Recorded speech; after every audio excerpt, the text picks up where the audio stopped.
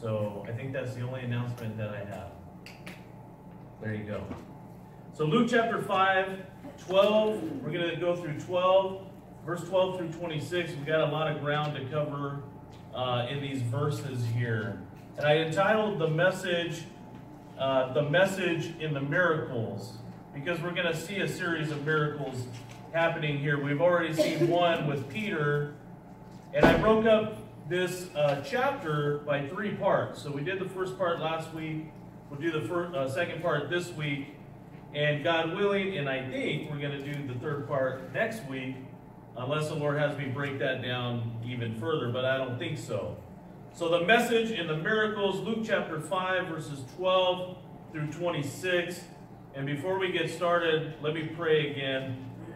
Father, thank you for this day that you've given to us, Lord. Thank you for this time.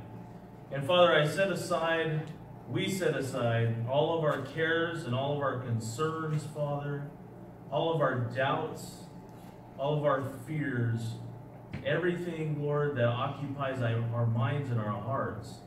We want to set aside right now, Lord, and spend time listening to what your Spirit has to say to your church. I pray, Lord, that any words of mine would be wiped away, Father.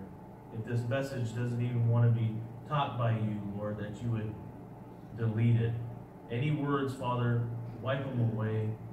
Prepare our hearts, Lord, and may I not make you look foolish. May I not make myself look foolish. Help me to remember everything that you've placed on my heart, Lord, to put down in words, Father. And we just praise you for this message. In Jesus' name we pray. Amen. So the message of the miracles. The word miracle is from the Latin word miraculum, and it, and it means uh, something that evokes wonder. It, it is a work that appears to violate natural laws, right? And at the same time, it reveals God to the eye of faith. There are four words in the Bible that describe miracles. We see signs, we see wonders, works, and power. And they have definitions. A sign speaks of a miracle that carries a message with it. A wonder focuses on the effect of that miracle because they can cause awe and they can cause wonder in people and they can also call, cause terror in people. And a work and a work of power focuses on God's strength and his ability to perform that miracle. And think about this the same power that is used for miracles is the same power that God used to create the world from nothing. That same power that's in Him, the Bible says, is in us. And if we can believe that by faith, then we have no problem believing in miracles and we have no problem believing in God's power. We have no problem believing that Jesus came down to die for our sins. We have no problem believing that He got up on that cross and that He rose on the third day and ascended into heaven and is coming back for us. We have no problem with that. Isaiah chapter 40, verse 12 tells us what? That, that God measures the waters in the hollow of his hand, and the heavens with the span of his hand. And the hollows of his hand speak of the palm. Now the water water on the earth is what? Over 70%? And think about that in the palm of his hand. And the span, you guys know this, the span, pinky to thumb, stretched out. That's the heavens to the Lord. Just goes to show how big he is. Isaiah 66, 1 and 2 says, Heaven is my throne and earth my footstool. Where is the house that you will build me? And where is the place of my rest? I'm too big for you. You can't do it. You can't provide me a home. For all those things my hand has made, and all those things exist, says the Lord. But on this one will I look, on him who is poor and of contrite spirit, and who trembles at my word. What a beautiful picture. He's so big, he's so vast, and yet he says, But I will look on those people who are humble and who seek me and who tremble at my word. Matthew Henry wrote this All created beings shrink to nothing in comparison with the Creator. When the Lord by his Spirit made the world, none directed his Spirit. None gave advice what to do or how to do it. The nations, in comparison of him, are as a drop which remains in the bucket, compared with the vast ocean, or as the small dust in the balance, which does not turn it, compared with all the earth. This magnifies God's love to the world, that though it is of such small account and value with him, yet for the redemption of it, he gave his only begotten Son. Think about that, how vast he is, and yet we think, oh, we've got it all together. Oh, we don't need God. In the book of Jeremiah, you can see that in chapters 1 and 2, where it talks about the leaders, talks about them going off on their own, saying, Who is God? We don't need him. Today we're going to see faith in who Jesus is and not just what he can do. And that's important. We're going to see seeking Jesus on behalf of others, carrying other people towards the Lord. And we'll see messages in the miracles. So let's start at verse 12 of chapter 5. And we'll read to verse 15. And it says this And it happened when he was in a certain city that behold, a man was, who was full of leprosy saw Jesus. And he fell on his face and implored him, saying, Lord, if you are willing, you can make me clean. And then he put out his hand and touched him, saying, I am willing, be cleansed. Immediately the leprosy left him, and he charged him to tell no one, but go and show yourself to the priest and make an offering for your cleansing as a testimony to them, just as Moses commanded. However, the report went around concerning him all the more, and great multitudes came together to hear and to be healed by him of their infirmities. So he himself often withdrew into the wilderness and prayed. Jesus is always willing to work on our behalf, isn't he? He's always willing to help take care of our needs so that his name can be glorified. How do we know that? Second Chronicles 16 9 says what? You guys know this. For the eyes of the Lord run to and fro throughout the whole earth to show himself strong on behalf of those whose heart is loyal to him. Okay, so now combine that with Matthew 7 7.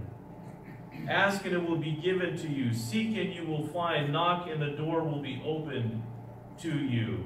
In the New Living Translation, it talks about uh, keep on asking, keep on seeking. It's a continuous thing. Don't just ask for it once, continue. When we truly see Jesus, we recognize who we really are and who he really is. We realize and recognize our sin as we humbly approach Jesus. I mean, remember the reaction of Peter, right? When he saw that miracle that Jesus did in front of him and he realized how small he really was in comparison to Jesus. And what did he do? I'm not worthy to be here. When he filled that boat full of fish. This shouldn't be happening right now. I'm fishing at the wrong time and in the wrong spot. And look at the miracle that the Lord did. I am in front of greatness, and it humbled me. When we're willing to lay down our sin in our lives, the Lord is willing to forgive and to heal and to pick us up. And this is what we begin to see happening in this man full of leprosy. It tells us that Jesus is in a certain town now, right? Probably still in the region of Galilee, and we're introduced to this man who is not just has leprosy, but he's full of it. It's a severe case of leprosy. It's this leprosy is a chronic infectious disease that has sores and scabs and white shining spots beneath the skin and if left untreated, limbs begin to fall off. If you guys go and Google this stuff, you can see the deformity that it has. It's still out there today. It's called Hansen's disease. And it was common during the time of Jesus, and the Bible does not give any clear indication that there was a cure. And it was not curable. And it's still not curable. But it is treatable. It's still not curable, but it is treatable. But they believed, and the Bible implies, that leprosy can only be healed by a miracle. How do we know that? If you take notes, you can write down 2 Kings 5 7, where it says, uh, Jehoram said, Am I a God to kill and to make alive? That this man sends a man to me to heal him of his leprosy? They understood that nobody could heal anybody of this disease. There was no cure. So this man full of leprosy would understand something. He would understand that there's no cure for him of this disease. And that begins to give you the setting, doesn't it? That begins to give you where this guy's mind and heart may have been at this time. The hopelessness. Leviticus 13, 45 through 46. The law required that these people be isolated from the rest of society so that it would not be spread. And while excluded from society, lepers were required to wear clothes of mourning. They were required to leave their hair in disorder, and when they're walking down the street, to uh, cry, unclean, unclean. People would avoid them, and it gives you a picture of, again, what this poor guy was, was thinking about and what he might have been going through. I mean, think about it, right? If he was married before he caught it and had kids, no more holding your children, no more touching them, no more staying with them, no more holding of your wife, right? None of that. And not only that, society, you were a cast out, and you had to walk around deformed and ugly. And in the Bible, leprosy many times represents sin. We see that in Isaiah chapter 1, verses 4 through 6, and it gives us a picture of that. Leprosy representing sin. So he is ceremonially unclean. And if he broke the law of touching anybody or reaching out to anybody, he could be killed. So think about this guy, right? He is unclean. Leprosy is a sign of sin in our lives. It's untreatable or uncurable, but it's treatable. And today, I think about that as, as sin begin, becomes more um, open, as even Jeremiah talks about, you guys don't even hide your sin anymore. It's so open. It's so open now. It's it's curable. Sin is curable now if you accept the Lord. But what do we do? We treat it. And how do we treat it? We call it by another name. Or we say, oh, we have to love everybody. Well, we do love everybody. But that's just a disguise to say, well, you hate me if you don't agree with me. So we disguise the sin. We treat it in a way where it's disguised rather than curing it.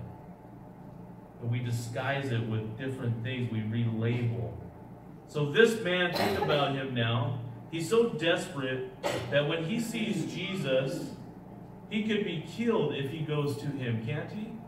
That's what the law says. But he's willing to break the laws of tradition for salvation in Jesus. It's like those religions that say, well, my religion doesn't allow me to do that. So I can't do that. But when we see Jesus, man, that outweighs everything. And we need to be willing to step out and do that.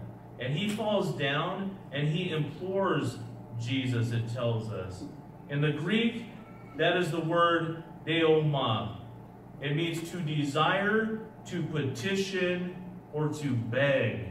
And this man was begging. He knew he had something going on, and he knew he needed to be changed.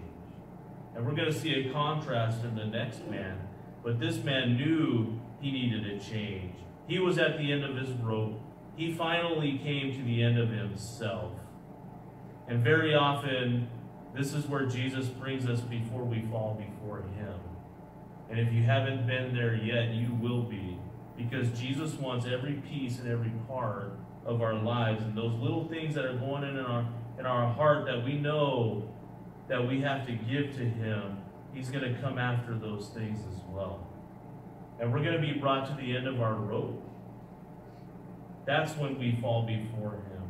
And he says, Lord, if you are willing, And what a great way to come before the Lord. It's like the heart of that person in Isaiah chapter 66 that we talked about at the beginning. It's a great way to come to the Lord in a heart of repentance. And he says this, Lord, if you are willing, because he already believes that the Lord can do it. Lord, if you're willing, I know you can do it, but if you're willing to do it, of course Jesus is willing to do it. And what does Jesus do that's defiling to him? He steps out of everything, all of that religion, and he touches this man. The man implored Jesus according to Jesus' will, right? Lord, if it's your will, we ask that you would do this. And that's the best way to pray. Lord, these are the things happening in our lives. Would you please take care of those things if it's your will? If not, teach me the lessons that I'm supposed to learn in this situation. Help me not to gripe and complain all the time. Help me to learn because, Lord, I know one thing you're in control of all of these things. I am not. So this man asked, right? And we have to ask if the Lord is willing, he will do it. And if he's not, that's okay too. Because what can we learn in the lesson? He asked, it was answered. Jesus here breaks religious tradition too, right? He reaches out to him and he reaches out to us as well. And immediately this guy is cleansed. Immediately. There's always that opportunity for the Lord to save a life at the very end. And we remember the sinner on the cross with Jesus at the very end. All those years, and he's hung up on the cross and he realizes something.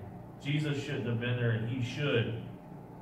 And he says, Hey, Lord, can I be with you? Yes, you can. Today you'll be with me in paradise. Immediately he was cleansed. Immediately this guy is, is cleansed.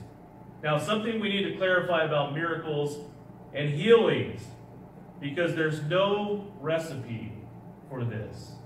And why do I say that? Because there are those who will have an event, they'll tell everybody to come out, and they do it in a specific way every single time. And sometimes they say it works and some, sometimes it doesn't. But there's no recipe. How do we know this? Turn with me to Luke chapter 17. Luke 17. At verse 11.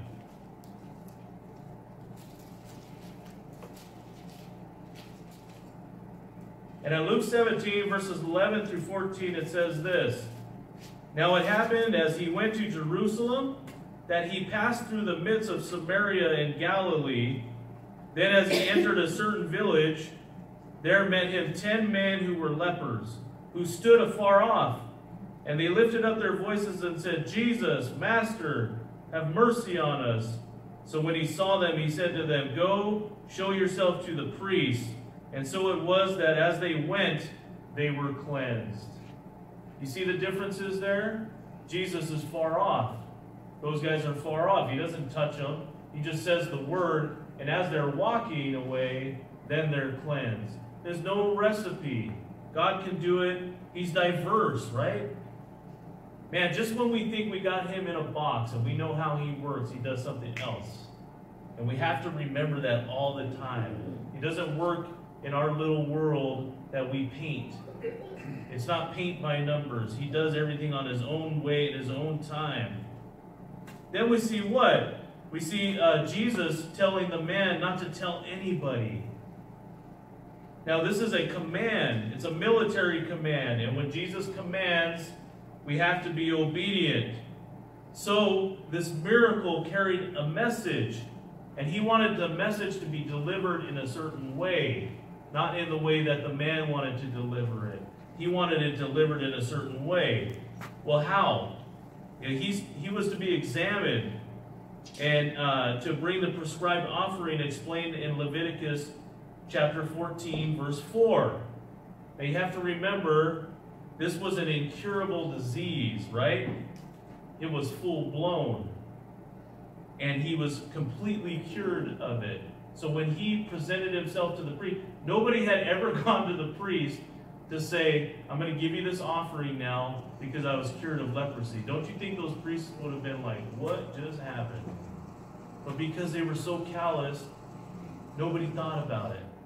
They were so callous, there was, there was nothing that happened. Amazing. So it's incurable. They're so callous, they don't see any change in the man. And what happens in this whole scenario? What, what happened in this in Leviticus 14:4? Well, they were to bring two doves, right? One was to be killed, the blood poured into a basin with water, the other dove dipped into that water and blood and let free, and the, the drippings off of that dove were to represent that he was cleansed. That was the representation. And everybody would have known that. The Lord wanted the Lord wanted that to be shown and demonstrated. Why? Because then they would probably believe that Messiah was really here. But it also shows something else. It also shows the callousness of the people's hearts. And when there's unbelief, there's not a lot of miracles. So he was to be examined. We shouldn't always have to say anything, right? People should see the changes in our lives. The Lord doesn't always want us to be pounding at people, preaching Christ to them, even though we're supposed to proclaim the gospel. But we should they should see the changes in our lives. And if they're not seeing the changes, then you question whether they know the Lord or not. I know somebody who tells me all the time, I hope you see the changes in me. I hope you see the changes in me. And I never see the changes in person. Why should you always have to say that over and over? Demonstrate it. Because it's not believable. 1 John 3.18 says, Let us not love with words or speech, but with what? Actions and in truth. So word about him spread. Word about Jesus spread. How could it not? Others probably spread the word, right? And once the news spread, multitudes began coming in to be healed. They began coming to him to be healed. So this man full of leprosy and disease, there was no hope for him. There has never been anyone cured from it that he knew of. He was deformed. He was ugly. He was isolated. And of course, he would be open to being cured. His heart was prepared for Jesus. And then what? He sees Jesus. He risks everything, leaves his old life to cry out to Jesus and say, Lord, if you are willing. And Jesus says, I am willing. And we have to be brought to that place. Full blown sin in our lives eventually deforms us. And sin without uh, Jesus is like leprosy left unchecked. Even as believers, right? Even those little sins that we think we can get away with. It spreads and it affects and it isolates us. And when we're on the state of hopelessness, what is our response when we see Jesus in front of us? Do we try to cover and disguise it? Or do we reach out to him implore him, and ask for his willingness to heal? Do we give it to him? It's the little sins, isn't it? James 1.15 says, But each one is tempted when by his own evil desires he is lured away and enticed. Then after desire has conceived, it gives birth to sin, and sin, when it's fully grown, gives birth to death. That's why we have to take our thoughts captive that's why we have to bring our bodies into submission. That's what the Bible tells us, putting on that full armor. So, going to verse 17, we see this man of leprosy. Verse 17 now, we see something else. And it says, Now it happened on a certain day, as he was teaching, that there were Pharisees and teachers of the law sitting by, who had come out of every town of Galilee, Judea, and Jerusalem, and the power of the Lord was present to heal them.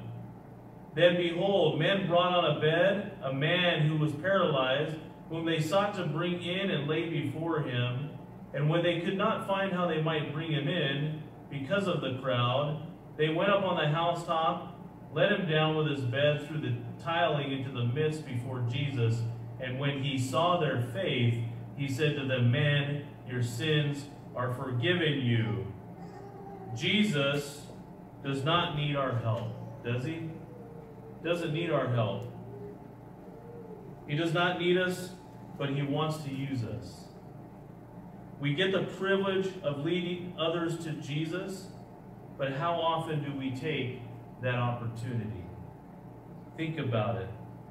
When is the last time in your mind that you can remember that somebody came to the Lord through your ministry? Salvation was accomplished on the cross, and the need for it is prompted by the Holy Spirit. But very often, though, God uses us to make that introduction, doesn't He? So here we find Jesus teaching once again, this time in a house full of people. And this setting is a little different because it tells us that now we have Pharisees and teachers of the law here, and they're from all over the place. They're from every city in the region, Judea and, and Jerusalem. And think about that. That's 204 cities at this time. And there's somebody there from every city.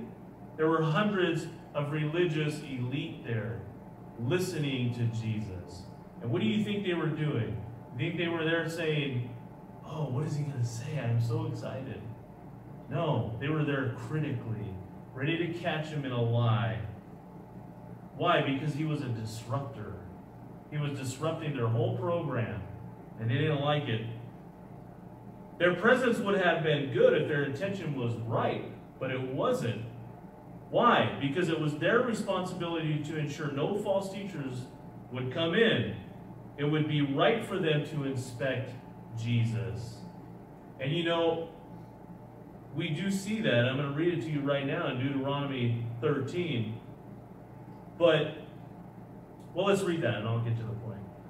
Deuteronomy 13, 1 through 5 says, If there arises among you a prophet or a dreamer of dreams, and he gives you a sign or wonder, the sign of wonder comes to pass, of which he spoke to you, saying, Let us go after other gods, which you have not known, and let us serve them. You shall not listen to the words of that prophet or that dreamer of dreams, for the Lord God is testing you to know whether you love the Lord your God with all your heart and with all your soul.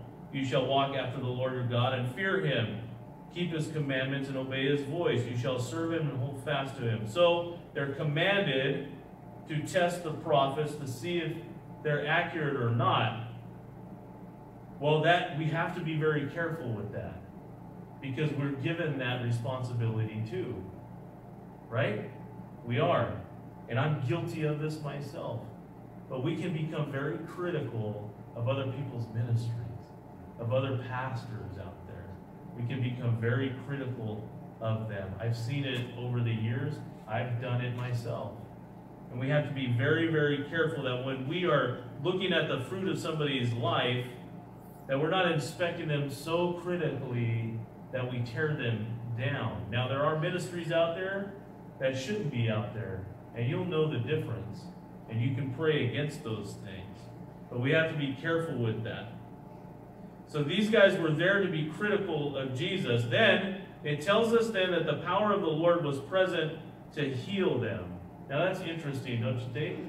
So the power of the Lord isn't always around to heal? Well, yeah, the power of the Lord is always present. Well, let's take a look at something Let's turn to Matthew chapter 13. It's very interesting here. Matthew chapter 13, verses 57 and 58.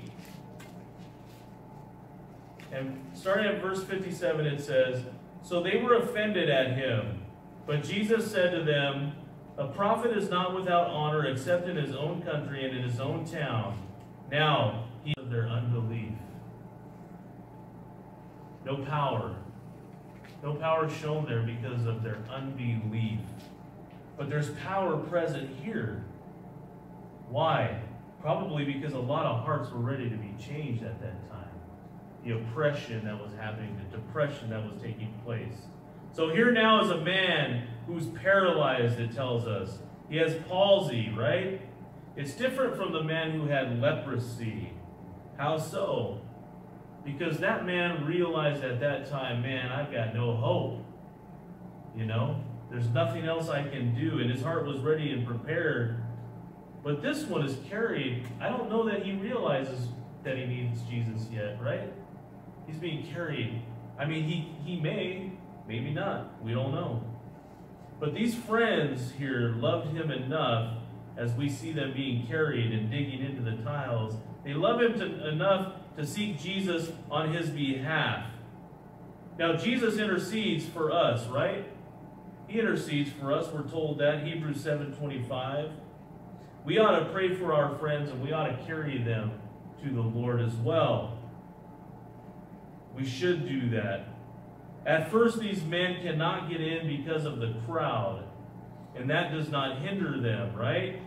Think about this scene. How often do we do we give up so easily?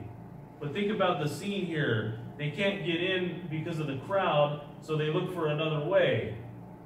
And I was uh, listening, Pastor Raul was talking the other day about a story about um, a man that he's been trying to minister to for 20 years. And he said finally he got the opportunity. It's one of his neighbors. And he ran into him in a store. And Pastor Raul, one way he gets in is he makes salsa for people. And he takes it to them. And so that he did that for his neighbor.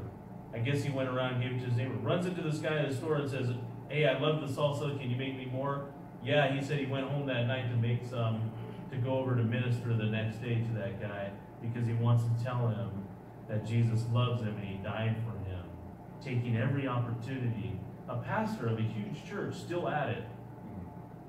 And on that same day, it was neat. It was last Tuesday. I had talked to the lady at the post office in Walnut.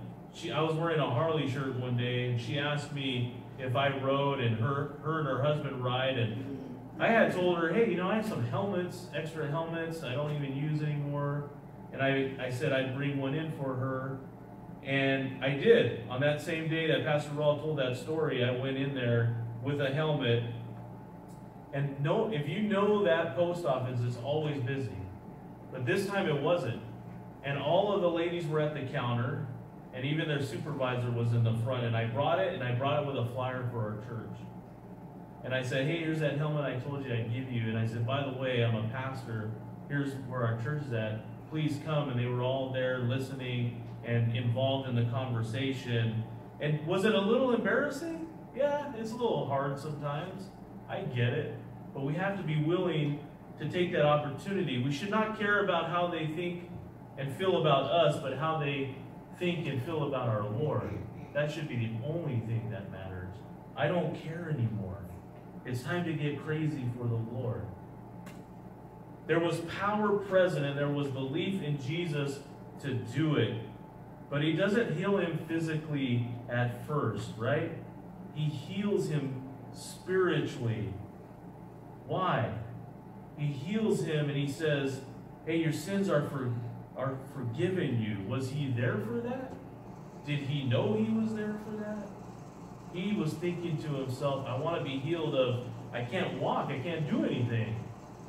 But did he realize he needed salvation first? And maybe at first he didn't know he needed to be forgiven of his sins. Many do not know this already. Many don't know this now. And we have to carry them to the Lord sometimes, don't we? In prayer, in intercession, those people that don't know the Lord, we can't always push them we can't always do that. We can pray for them, though. Isaiah 65 1 says, I was sought by those who did not ask for me. I was found by those who did not seek me. I said, Here I am, here I am. It's like Jesus standing on the door, at the door and knocking. You see, God was telling the children of Israel, Hey, you're not listening? This is going to go out to the Gentiles. That's what he meant people that didn't ask for me and people who weren't seeking me, I'm going to make myself known to them. And that's what happens today, doesn't it? People aren't seeking the Lord. They're not asking for Him. But maybe they don't realize they need Him. And we're supposed to carry those people. Look what kind of friends these guys are. I was talking to, um, well, I'll get to that point in a minute. So these friends, this is what we see in this section here. They brought the paralyzed man to the Lord, and they were persistent. Jesus healed the man after he saved him. And there are those who do not even know they need the Lord, and God's trying to get an introduction with them through us. Sometimes that introduction takes sweat and tears and effort, and it's uncomfortable, like going in and saying, hey, here's a flyer, you know, to my church. That's uncomfortable. But what kind of friends are we if we just give up? You know, salvation is a work of the Holy Spirit. But God gives us a part in it, doesn't He? To open our mouths, to speak. Are there people in your life that you're making intercession for? That you're praying for? Those that you started to carry to Jesus? Who are those people? Have you given up on them? Are you still doing it? Or did you hit a roadblock or a crowded room and give up? Or are you going to get into that tile and dig? Did you start off intense? And now it's more like, yeah, God, you know, so and so, yeah, lift them up to you, and then take off. It used to be that deep prayer that you had for them. I was talking to somebody the other day. This person is a leader in a church, a leader in the church. God's not going to show up if there's a lot of unbelief. Why would He? Right? There has to be belief. This person's a, a, a leader in the church. And we were talking, I was sharing with them about a person that we both know that I've been praying for, that I continue to pray for. And this leader in the church tells me, oh, they're never going to go to church. What kind of faith is that? That person should not be in leadership. What kind of heart and attitude is that? Blows me away. Wasn't anybody from here? but they shouldn't be in it. They shouldn't be in leadership. If you're in leadership and you don't believe somebody can get saved, I mean, it blew me away. No wonder why the church is declining. Pastor Ron was just talking about that in his church. No wonder why churches is, are declining. He said that he doesn't believe that that church is going to be as big in a few years. That's going to dwindle because there's so much unbelief. So why would Jesus show up if there's so much unbelief? But there was power there at this time. But there's not always, like when Jesus was in Nazareth. But what kind of people are we as Christians if we forget about this power? It's not easy. We know that. I love Psalm 126, 6, and it gives me just this great picture. It says, Those who sow in tears will reap with shouts of joy. He who goes out weeping, bearing a trail of seed, will surely return with shouts of joy, carrying sheaves of grain. And I've quoted this before. You go out with tears. It's labor. It's not easy. But where are you storing your treasures? Is it here? I mean, that seems like all we live for anymore. Even in the church, you see it. We come to verses 21 through 26 now. And then going back to 20, let's say, when he saw their faith, he said to them, Man, your sins are forgiven. And the scribes and the Pharisees began to reason, saying, Who is this who speaks blasphemies? Who can for forgive sins but God alone? Now, to reason here is back and forth evaluation, it's debate, right? It's one confused mind debating with another confused mind. That's the picture. Matthew Henry, again, I quote him, says, It is to them as a tale told them, not a message sent to them.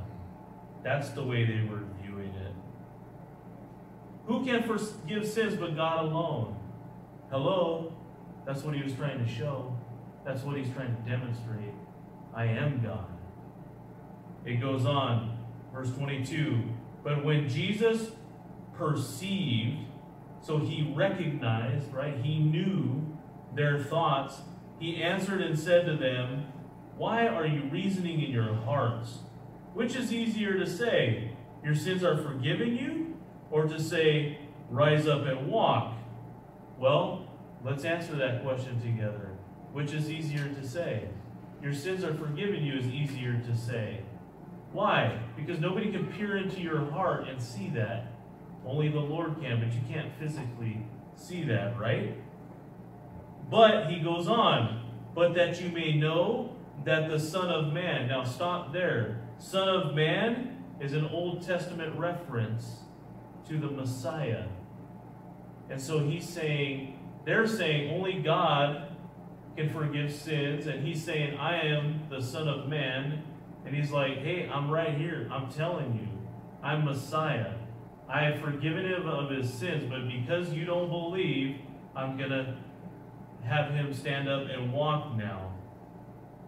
And he's been given power on earth to forgive sins. And he said to the man who was paralyzed, I say to you, arise, take up your bed, and go to your house.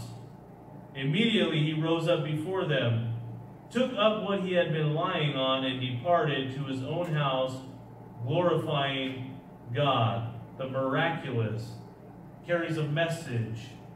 And it not only carries a message for the person being healed of sins, and but also carries another message. And it exposes the callousness of other people. And we're going to see that more and more as the time gets closer, aren't we? And then it says they were all amazed, and they glorified God and were filled with fear.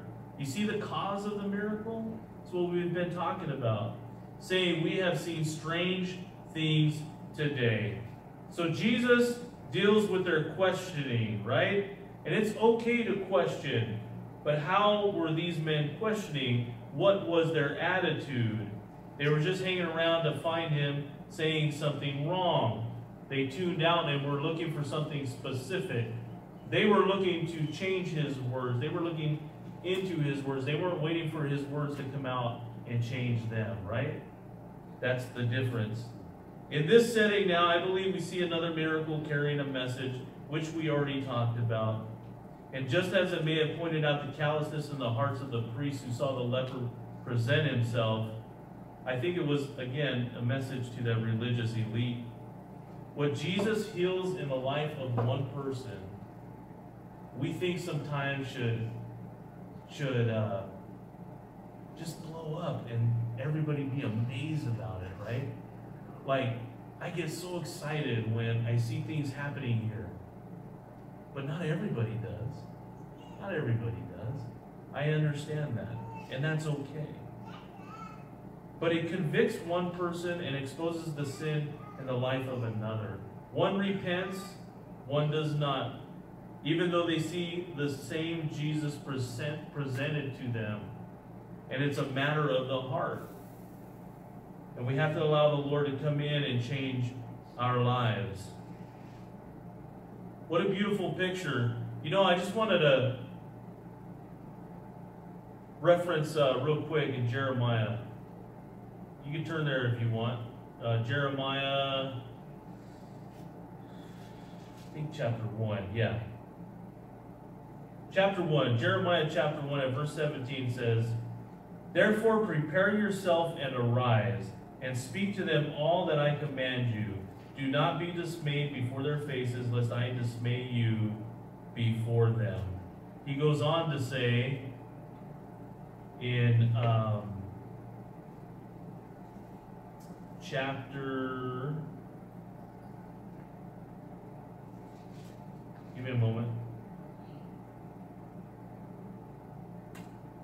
Oh, chapter 2, verse 7, it says, I brought you into a bountiful country to eat its fruit and its goodness, but when you entered, you defiled my land, made my heritage an abomination. And listen to this in verse 8. The priests did not say, Where is the Lord? And those who handle the law did not know me. The rulers also transgressed against me. The prophets prophesied by Baal and walked after things that do not profit. He tells Jeremiah in verse 17, chapter 1, to prepare himself, do all that he's commanded, but not to be dismayed before their faces, lest he's, lest uh, you know, or the God will God will dismay him. But isn't it interesting? And you see it in what we just read, that he's accusing the leaders, right? of turning away. The writers of the law, the people who preached it, there was no power, there was no unbelief. I mean, there was no belief, so there was no power. And if we have people like I described earlier in ministry, then what's the point? Right? Our hearts have to be changed even in the church. So it starts with you guys. It starts with us here, not just the leaders. You get the point? You know what I'm saying? Man, we're going to die out if we don't take this seriously. If we don't take it seriously and remember that He's coming back soon. Why do we have communion? We need to remember that the Lord, the Lord's return is imminent. Have we forgotten? I feel like we've forgotten. I feel like the more years pass, the more people forget. And I can't wait for the Lord to return. Because how many more people are going to be falling away? Is that your heart? Because if it's not your heart as a Christian, it should be your heart as a Christian. Let's pray. Father, we come before you, Lord, and we thank you for this day, Father. We thank you for your word. And I pray, God, that I communicated effectively, Lord. I know what you placed on my heart. I, I hope it came out correctly, Lord. Lord, your word does not come back void, Father. So I pray, Jesus, that you would touch hearts and that our will would be bent to yours and that we'd be willing to turn over our lives to you and that you would spark that fire within us, Lord, to not care what other people think, to not get bogged down with sitting and, and doing nothing and watching movies and loafing around and having our own free time. Lord, it's not time for that. Those days are done. We need to get in our hearts that there's hard work coming, that we have to sow in tears. And if we're not willing to do that, then what's the point? And we pray, God, that we don't do it in our own strength, that you give us the strength through the power of your Holy Spirit, that dunamis power that would fall upon us, Lord. And wherever we walk, wherever we go, may there be so much belief in us, Lord, in you, to ask you if you are willing, and may you say, I am willing. And may there be miracles, Father. There should be. And it's not just miracles of signs and wonders, it's people's lives changing. And Lord, if we are leaders in the church, if there are leaders in the church, we pray them out. We pray those ones out who think that somebody's so beyond that they can't be saved. Lord, take them out of ministry. They shouldn't even be there. And replace them. Replace them with those people, Father, that have a heart for you with reckless abandon. Remind us, Lord, that you are coming soon. And that's what we proclaim. And may that be the desire in our hearts to tell other people so that they go with us. We pray these things now. In Jesus' name we pray. And everybody said, Amen.